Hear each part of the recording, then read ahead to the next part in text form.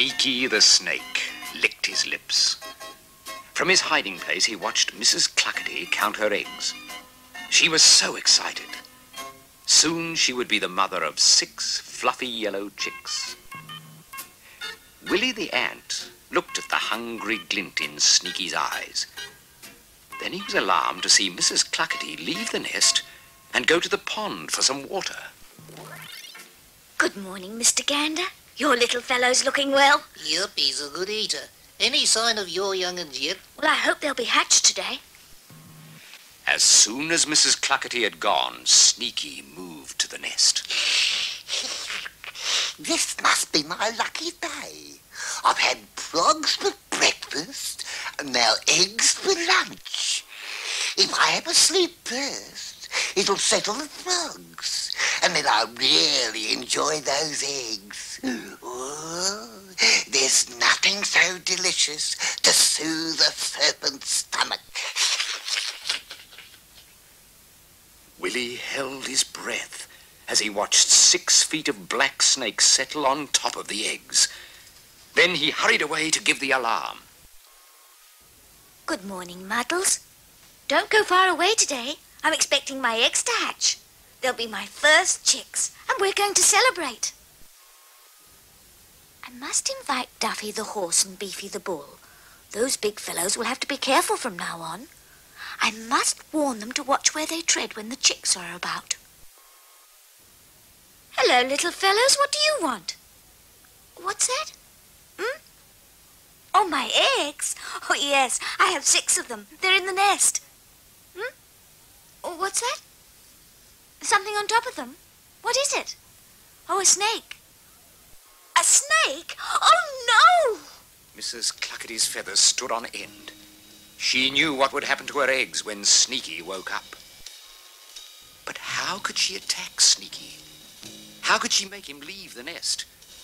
If there was a fight, the eggs could be broken.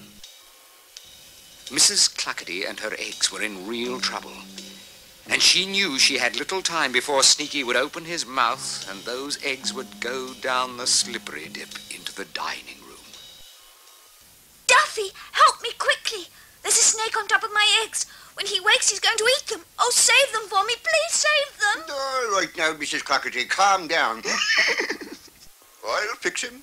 I'll go over and bring me hook down on him. He won't come worrying anyone again. I can promise you that. But you'd break the eggs. That's no help at all. Oh. Well, if you know of a better way, then get him off the nest yourself. Dear, who'll help me? I'll help you, Mrs. Cluckety. Uh, you leave that overgrown worm to me. Oh, Beefy, you can save my eggs. You won't tread on the snake. Oh, no, no, no. I'll shove my horns underneath him and toss him from here to eternity. You'll never know what struck him. Oh, no. Oh, what's the matter now? You'd break the eggs. Stomping on him won't work.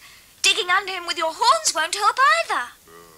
Well, well, then you'll have to think of a way. Uh, and don't forget, uh, never pick up a live snake unless he's dead. Oh, dear, my eggs, my chickens. What am I going to do? Psst, hey, he mustn't eat them. I've got to stop him. Psst, oi. Yes, who is it? Psst, hey, I'm not up there. I'm down here. Stop crying. You drowned in me. Oh, go away, Willie Ant. I'm in awful trouble. I know all about it, and I've come to help you. How could a little thing like you help me? You're just an ant.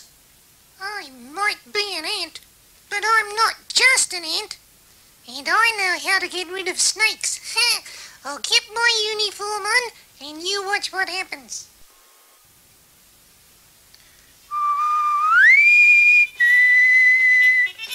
Willie the ant went to the anthill and gave an emergency call. From a hole in the ground, out came the whole army of ants. what's going on? Who's sounding the alarm? Uh, Willie, uh, it must be bad trouble somewhere. That's the signal to bring out all the troops. Oh, good, good. I've been looking forward to some real action. Right, fellas, in a line. Quickly, hurry up there. We have a dangerous mission, and time's running out on us. Company, listen carefully. Sneaky the snake is asleep on top of Mrs. Clackety's nest. When he wakes up, he's going to eat her eggs. We have to save them. We must get rid of him without harming the eggs. Now, Duffy the horse can't help, and neither can old Beefy the bull. So it's up to us. I want you all to follow me to the nest. Don't make a sound and surround the joint. Willie, do be careful. He's a nasty one, that sneaky. Take care of my eggs, and take care of yourself too.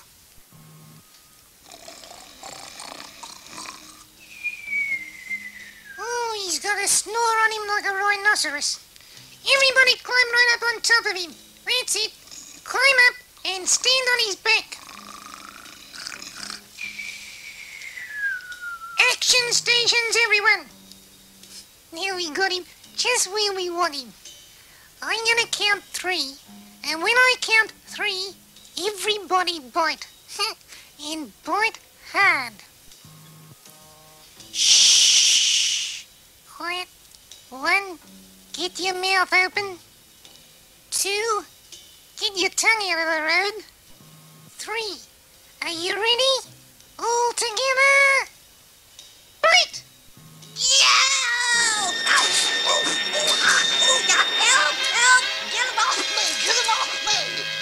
That's it, fellas. Hold on and keep on biting. Oh, oh, ouch! Stop it, please! Oh, oh, oh, oh, they're killing me! Get moving, Sneaky, and fast. Oh, Willie, Willie, you saved the eggs. oh, oh, oh, stop it! Oh, let go! Oh, get out of here, you egg thief, and never let us see you in the farmyard again. My dear, sweet William, I never thought you could do it. Daffy the horse couldn't do it. Beefy the bull was no help. But you and your friends really did the trick. Ah, oh, Mrs. Cluckety, we might be little people, and the bit we do's only a little bit. But when we work together and obey the leader, boy, do we shift things. Hey, do you hear what I hear? You're here at last. Oh, and you're beautiful. Hello, Mum. What's for dinner? So that's how Willie and the ants saved the eggs. And at Sunnybrook Farm, they all lived happily. Oh, yes? What about me? Well, you can't win 'em all. Ants. Ants. And all the low-down little beasts. Yuck. As I was saying, they all lived happily. Oh, keep quiet. The story's finished. Put on the last slide. There. Goodbye, all. Yuck.